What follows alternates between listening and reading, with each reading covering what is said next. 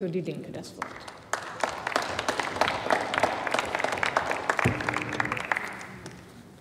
Frau Präsidentin, sehr geehrte Damen und Herren, liebe Kolleginnen und Kollegen! Die UNESCO-Konvention von 1970 gegen die rechtswidrige Einfuhr, Ausfuhr oder Übereignung von Kulturgut endlich in wirksames nationales Recht umzusetzen, ist längst überfällig. Deshalb unterstützt meine Fraktion dieses Anliegen des vorliegenden Gesetzentwurfs. Das Kulturgüterrückführungsgesetz von 2007 hat sich, wie von der Linken bei seiner Einführung übrigens schon befürchtet und wie von Bund und Ländern einhellig im Evaluationsbericht von 2013 festgestellt, als wirkungslos erwiesen. Die erdrückenden Bilder der barbarischen Kulturzerstörung in Mosul, Hatra, Nimrud oder Palmyra machen mehr als deutlich, dass auch Deutschland endlich sich darum kümmern muss, den illegalen Handel mit Raubkunst und Artefakten aus archäologischen Raubgrabungen zu verhindern bzw. ihn wenigstens zu erschweren.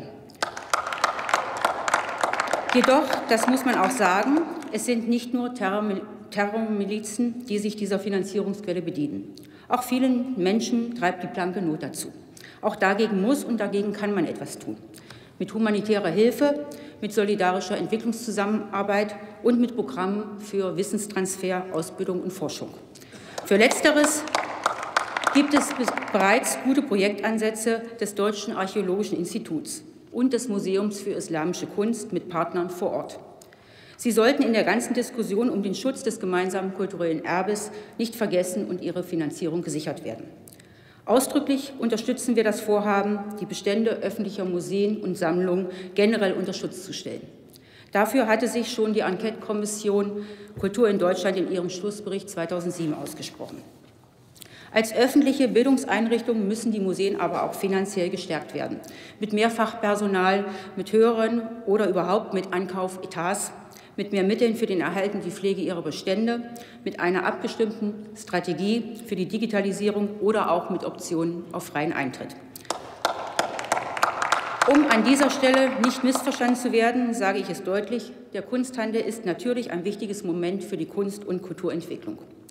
Die öffentlich inszenierte Empörung über den staatlichen Eingriff ins Eigentum oder das Reden vom Ende des Kulturhandelsstandorts Deutschlands sind aber unangebracht. Sie verdeutlichen eher, dass das Gesetz offenbar an der richtigen Stelle ansetzt.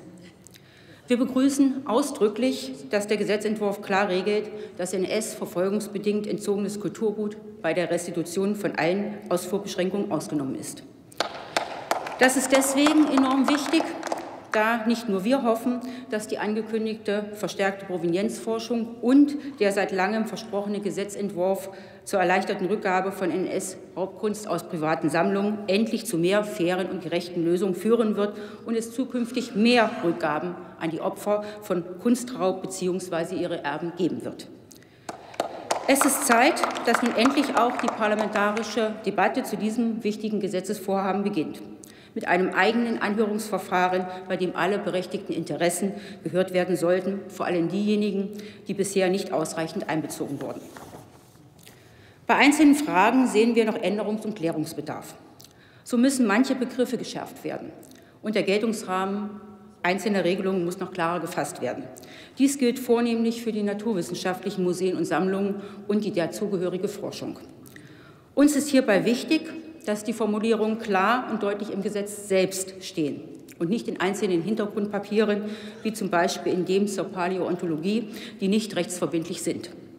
Insofern begrüßen wir ausdrücklich, dass viele der ursprünglich geplanten Verordnungsermächtigungen aus dem Entwurf genommen wurden. Beim Kulturgutschutz geht es um das kulturelle Erbe von uns allen, und da sollten wir Abgeordnete auch mitreden dürfen. Wichtig ist für uns daher auch, dass die Sachverständigenausschüsse in den Ländern ihre Entscheidungen transparent machen und dass das Gesetz nach fünf Jahren auf ihre Wirksamkeit evaluiert wird. Wir sollten uns außerdem nicht davor scheuen, die Frage öffentlich zu diskutieren, was ist für uns, für unsere Gesellschaft eigentlich wertvolles, identitätsstiftendes Kulturgut. Dazu gehört auch, sich über die Verpflichtungen zu verständigen, die sich aus dieser Klassifizierung ergeben. Es geht dabei ja nicht nur um ein Etikett, sondern um den Erhalt, die Pflege und die öffentliche Zugänglichmachung. Und diese Diskussion muss eigentlich auch vor dem Hintergrund europäischer und globaler Zusammenhänge geführt werden. Hier im Bundestag und vor allem mit den Bürgerinnen und Bürgern. In diesem Sinne werden wir uns in die Debatte gern einbringen und vor allem darauf achten, dass wir am Ende ein wirklich wirksames Gesetz zum Kulturschutz erhalten werden und nicht ein, kein entschärftes wie in 2017. Vielen Dank für Ihre Aufmerksamkeit. Vielen Dank. Als nächster Redner spricht